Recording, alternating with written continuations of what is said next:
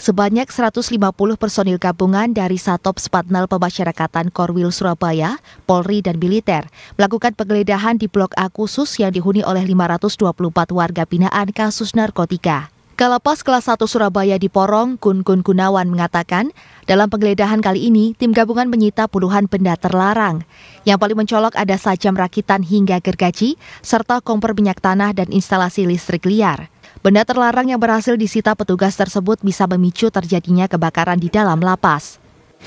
Dan ini akhirnya kita temukan ada beberapa senjata tajam yang dibuat sendiri maupun yang jadi berada dalam seperti gunting dan ini ada gergaji juga ada alat komunikasi ada ada lima buah yang kami dapatkan Selain akan memusnahkan temuan benda-benda tersebut, petugas akan memanggil warga binaan yang bersangkutan untuk dimintai keterangan.